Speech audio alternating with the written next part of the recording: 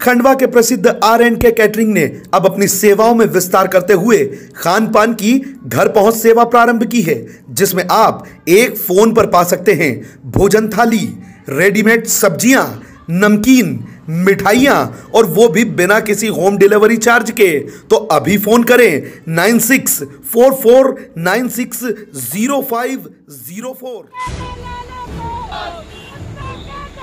Madhya Pradesh में भारतीय जनता party की सरकार के 100 दिन होने पर खंडवा में कांग्रेसियों ने काला दिवस मनाते हुए मुख्यमंत्री शिवराज सिंह का चलाया कांग्रेस कार्यालय गांधी भवन से रैली के रूप में शहर के मुख्य चौराहे केवल राम पेट्रोल पंप पर कांग्रेस कार्यकर्ताओं ने काली पट्टी बांधकर जमकर नारेबाजी की और पुतला जलाया।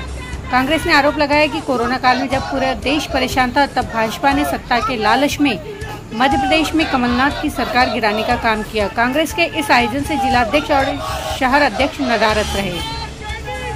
खंडवा के मुख्य चौराहे केवल राम पर कांग्रेस कार्यकर्ता रैली के रूप में पहुँचे और मुख्यमंत्री शिवराज सिंह के खिलाफ जमकर नारेबाजी की। मध्य प्रदेश में कमलनाथ सरकार गिराकर 100 दिन पूरे होने पर कांग्रेस कार्यकर्ताओं ने काला दिवस मनाते हुए मुख्यमंत्री शिवराज सिंह चौहान का पुतला फूका।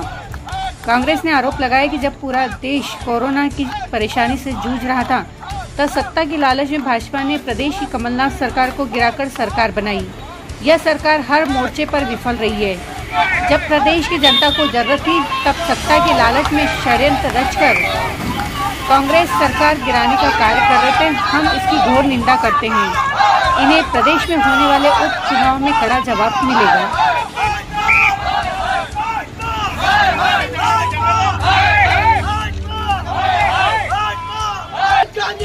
जिंदाबाद। राहुल गांधी। जिंदाबाद। सोनिया गांधी। जिंदाबाद। राहुल गांधी। जिंदाबाद। अरुण यादव। जिंदाबाद। हैं आज सौ दिन पूरे हुए हैं भाजपा सरकार को और ये सौ दिन बहुत विफलतापूर्वक रहे हैं। चाहे किसानों का मामला हो चाहे डीजल का मामला हो चाहे पेट्रोल का मामला हो सरकार कोरोना का चाहे मध्य प्रदेश में मामला हो और इस सरकार पे सबसे बड़ा आरोप है कि इसने कोरोना के समय सरकार गिरा के सत्ता के लालच में अपनी सरकार बनाई। और ये सौ दिन इनके घोर विफलता के हैं। इसके विरोध में समस्त कांग्रेस जनों ने, आदरणीय कमलनाथ जी के निर्देश पे पूरे मध्य प्रदेश में आज काले दिवस के रूप में हम लोगों ने मनाया। पुतला जलाया, काले झंडों के साथ हमने रैली निकाली। आज यहाँ के वर्तमान मुख्यमंत्री जो हैं, शिवराज सिंह जी चौहान, उनका पुतला जलाया गया है।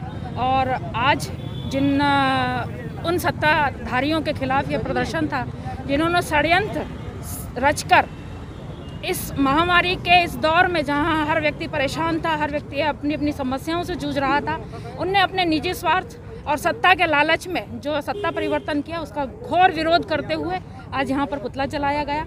और मैं कड़ी निंदा करती हूँ इस तरह की कार्रवाई के लिए कि उन्होंने जिस काल में हमको छोड़ा, आज हमारे मुख्य जो स्वास्थ्य मंत्री थे, वो हमारा साथ छोड़ के चले गए जब हमें उन लोगों की सख्त ज़रूरत थी, जब सत्ता परिवर्तन में वो लोग आज ये स्थिति है कि वो खुद अपना मंत्रिमंडल अभी तक नहीं गठित कर पाए हैं।